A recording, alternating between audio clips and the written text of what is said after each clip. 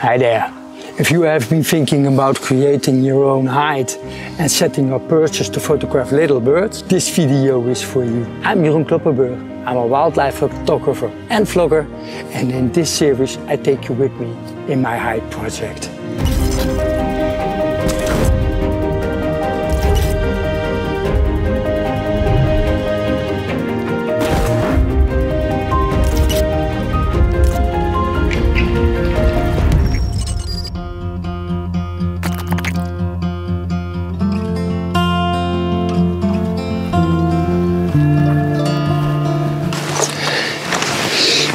Myself a fisher's chair.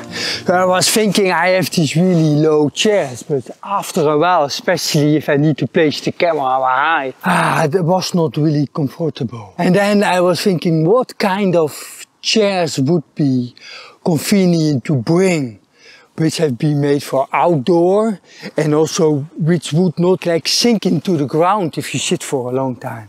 And then I was thinking all those people who are fishing, they must have specialized chairs. And indeed, in a sport fishers shop I found this foldable chair which is nicely camouflaged. This is standing on the ground and it won't sink away. Really, really convenient. I brought this from home because I want to make the background just a little bit more interesting. It's been really cold, so the water is a bit frozen, so I'm not sure if I will get really nice reflections, but I'm just going to make everything just a tad more interesting and see what kind of birds will show up today.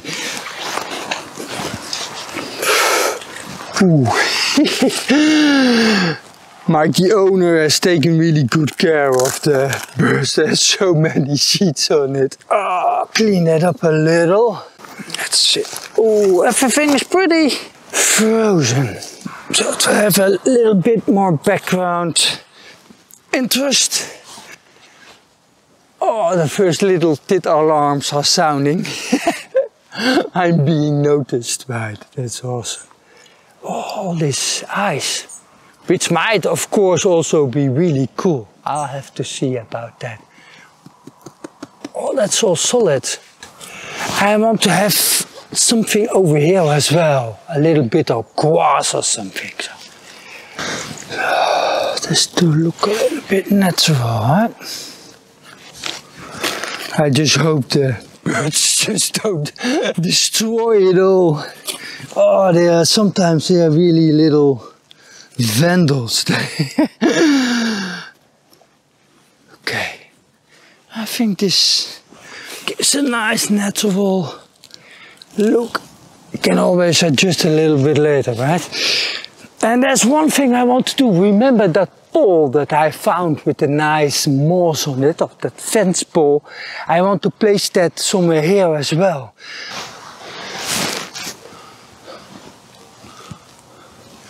So I don't want, if I make a photo over here to have the pole in the background, but I do need to be able to make a, a photo without moving the lens too much because when I move the lens uh, a lot, the uh, birds will uh, fly away immediately. And I have to make the pole low enough so I won't have the sky in the background. Oh, let's see. Ah. That looks good. And then I need to think about which side is the most interesting. I think a little bit of no moss. Okay. The all important sunflower seeds.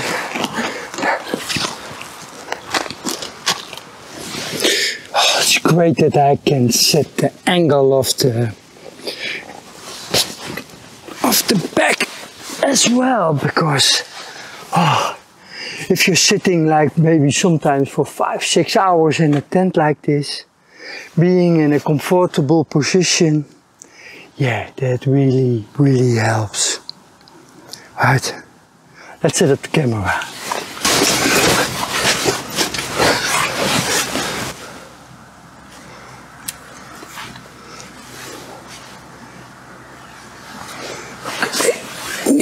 bit higher. Otherwise I'm missing out on the reflection. And it's really great to have a leveling base like this. And I can simply place the base level.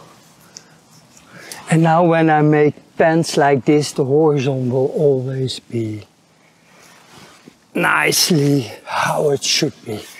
Ah, yes, really. This looks good. Okay, awesome. Let's wait.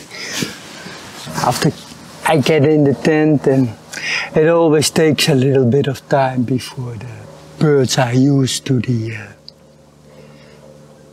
to the new situation. And also when I uh, arrived here, I uh, saw a sparrowhawk from here flying away. So that's of course a lot of disturbance, so the birds were away, but just imagine if I sit here and making photos and a sparrow hawk would grab one of the tits. That would be like a, a huge uh, photo opportunity. yeah.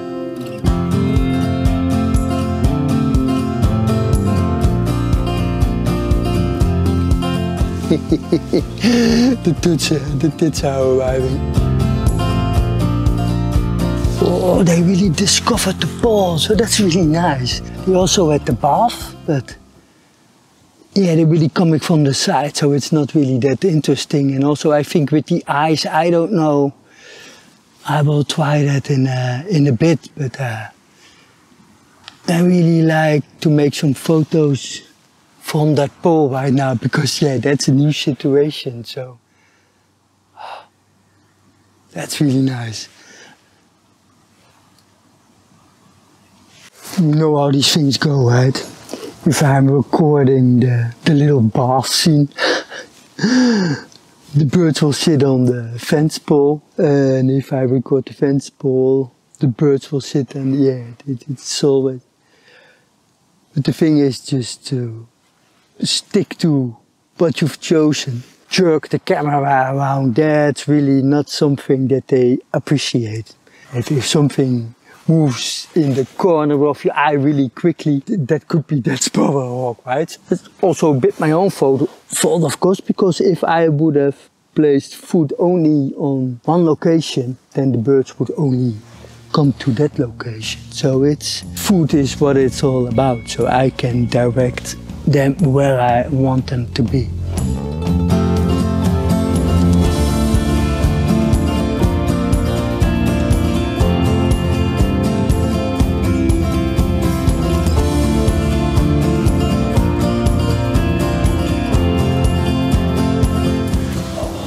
Finally some other birds showing up.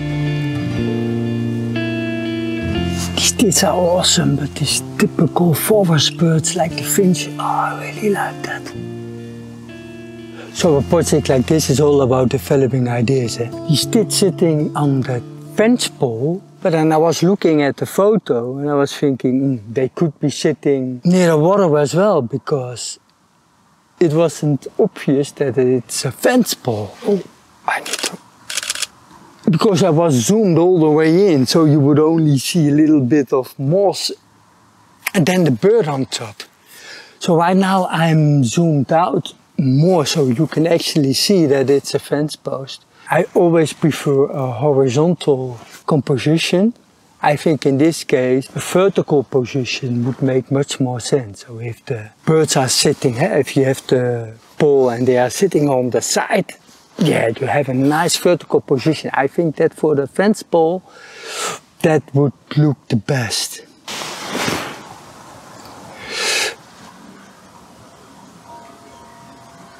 Gonna take a look at the photos. They have their feathers on their head here. Lifted up, that's a sign of uh, being alert and also signs of aggression and everything, those birds will, will lift those. For them it's still a new situation, so they're on uh, high alert. Might also be because of that uh, sparrowhawk that was here earlier on.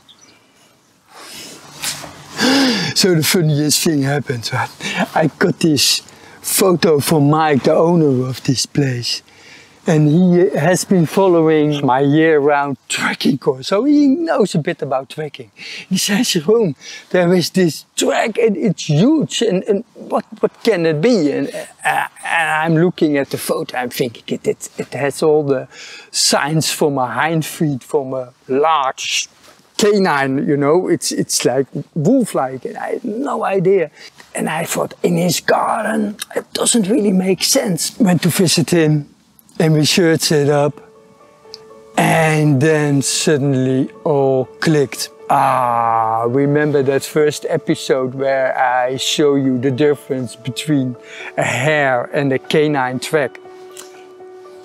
You saw the track that I made. oh, it even fooled me. It's not entirely, a little bit. Little so that ended up in a lot of laughter from us both. So it's really a story that will uh, will be told a few times after that. Oh, he was so excited about what can it be. Yeah.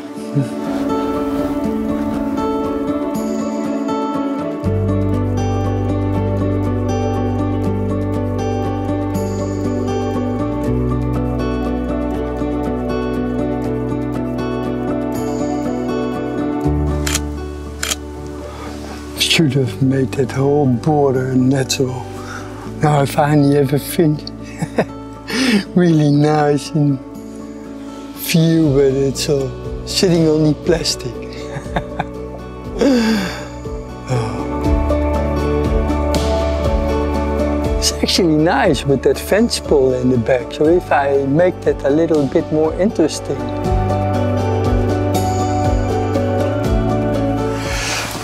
I made a few minor changes. So I moved the fence pole a little bit to the right.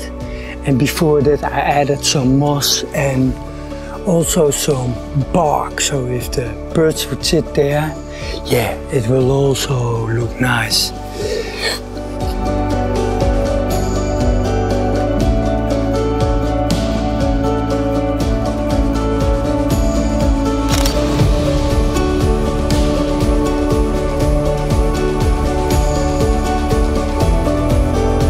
Projects like these take time.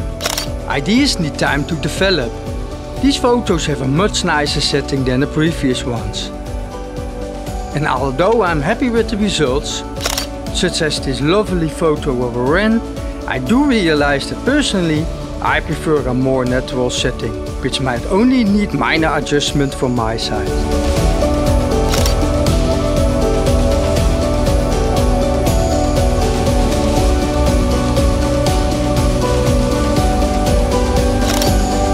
Join me next time when I will make use of the scenes already present in this garden.